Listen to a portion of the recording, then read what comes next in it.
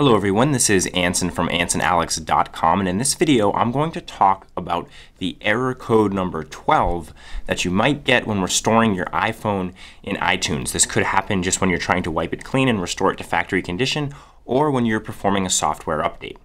Now I will tell you that I used to work at an Apple store at the Genius Bar for about a year and most error codes that are generated in iTunes in iTunes when you're restoring a phone are indicative of a hardware failure. Unfortunately, I hate to be the bearer of bad news, but generally the entire phone does have to be replaced. If it is under the one year warranty or two year warranty, if you purchased the extended warranty, it will completely be covered by Apple. So hopefully you do have a backup of all your information. And I'm going to talk a little gen more general about iTunes error codes here first because I have a resource for you that you might find helpful. It's the iPhoneWiki.com slash wiki slash iTunes underscore errors. And I'll put this link in the description of this video here on YouTube. But this website lists a number of errors that you might see in iTunes and what the error usually means. Now, unfortunately, when we scroll down this list and we get to error 11, we just skip right into error 13. Error 12 isn't there. And, you know, again, I worked in an Apple store at the Genius Bar for a year.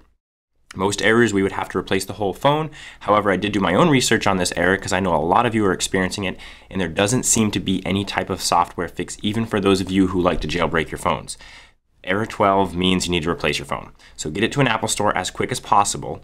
However, you can try a couple other things first, and especially if you're receiving a different error other than error 12, what you can do is you can try and restore your phone again. Now, I know a lot of you have probably done this, but before you do it, make sure that your iTunes is completely up to date. Whether you're using a Windows or Mac computer, you need to make sure iTunes is up to date.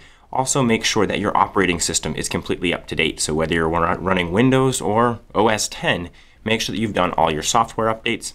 And you want to go ahead and try and restore your phone. Now, what you can do, I'm going to switch over here to my iPhone, is to do a full DFU restore, which stands for Device Firmware Update on your phone.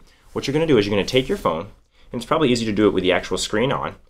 You're going to plug it into your computer via USB and open up iTunes.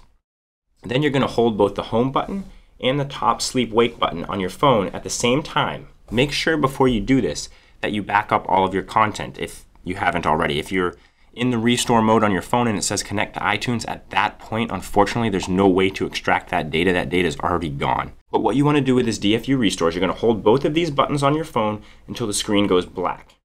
And then when it goes black, after about three seconds, let go of the top one and continue to hold the home button until you see a message on your iTunes on your computer that says that your phone is in recovery mode.